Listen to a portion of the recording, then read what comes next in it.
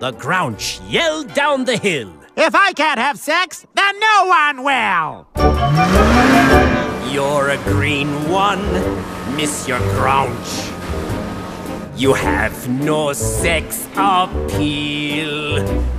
You look like a furry booger. You're charming as a dead seal, Monsieur Grounch. You smell like three-day-old gym shorts worn by an incontinent Shaquille O'Neal.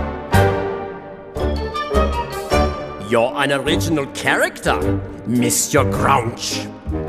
That's an undeniable fact, but if this does remind you of some other creature, don't overreact.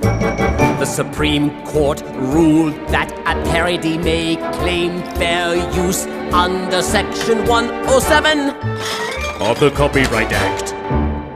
Where's my pee-pee Pumpo Max? And I'm looking for my hoo-hoo wax. I can't possibly get down without my rooty tooty booty snacks. Hey, where's my dingle dongle? And I can't have sex without my Viberschlongle. Has anyone seen my anal dongle?